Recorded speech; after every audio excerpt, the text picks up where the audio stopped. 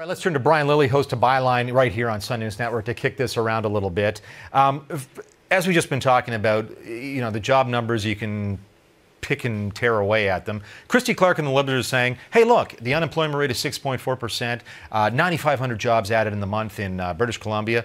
Uh, to which I'd say, 6.4%, that's great, but you're in the west of this country where the economy is booming, and every other Western province has a lower uh, unemployment rate, yep. including the New Democrats in Manitoba. Yeah, Manitoba, Saskatchewan, Alberta, they all survived the recession very Saskatchewan well. Alberta, they're down at 4% unemployment. Exactly. And for a little while ago, it was 3.8% yeah. in Saskatchewan.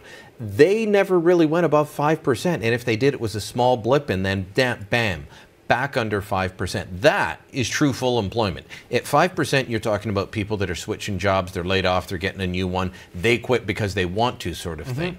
Uh, the underlying numbers in this case with Christy Clark are not good because most of the jobs being created are public sector jobs, and the private sector is bleeding jobs. Well, maybe bleeding. It's a slow drip bleed, but they're bleeding jobs. 42,000 private sector jobs went year. poof over the last year. Yeah. Now that's a it, lot would it be better or worse under the New Democrats? That's tough to say at this point. My guess is it was it would be worse because they believe in more government programs. They want to bring in uh, a Quebec-style daycare system, and so the, the government jobs would continue to go grow. Well, that's a drain on the rest of the private sector economy because it means higher taxes. But you know what? Perception matters more than reality in this case. Mm-hmm. The Obama job numbers came out last week. It showed that un- unemployment fell to 7.5%. The underlying numbers weren't good. There were a lot of people that quit working, a lot of people who were still only working part time and not by choice. Mm-hmm. And, and that's something they measure in the States and it still sent the stock market soaring to 15,000 people. People were ecstatic that the jobs numbers were good. Perception is everything, you're right. And Clark, if she's done anything in this campaign, has branded herself as she's best for the economy. You, we could argue that she may not be. There's data that shows it's ambivalent at best. In any event, that's the brand for her. Here's Christy Clark today on the campaign trail trying to say again that she's better than the alternative. The last time we had an NDP government in British Columbia was when the rest of Canada was undergoing a huge economic expansion.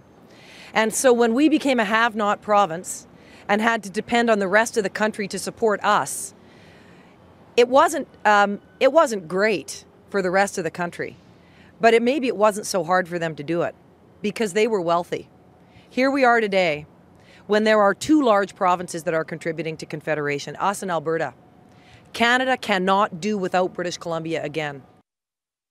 Now, I like that line Canada cannot do without British Columbia again, but she talks about the last time the NDP were in power, the rest of the country is expanding, blah, blah, blah. But let's look at what the rest of the country was doing right. in the year that uh, Christy Clark had anemic job creation. You've heard Stephen Harper in the House of Commons how many times? Like about every day? Created 450,000 jobs. That's the Canadian economy in the last, since but, the recession. Unfortunately, terrible. Unfortunately, a lot of those job numbers have been here in Ottawa, mm-hmm. government job numbers. Government job numbers have, under to Stephen Harper okay, have gone yeah. up dramatically. It hasn't been in manufacturing in Ontario. Ontario and Quebec are still higher than they should be. And it's been in the private sector, it's been Saskatchewan, Alberta, Manitoba, Newfoundland, but believe it or not, Newfoundland also, as well. yeah. Look, look at those. Uh, look at that backdrop with Christy mm-hmm. Clark, though. I don't know if we can show that again. Ships. The container ships. Vancouver is a vitally important port.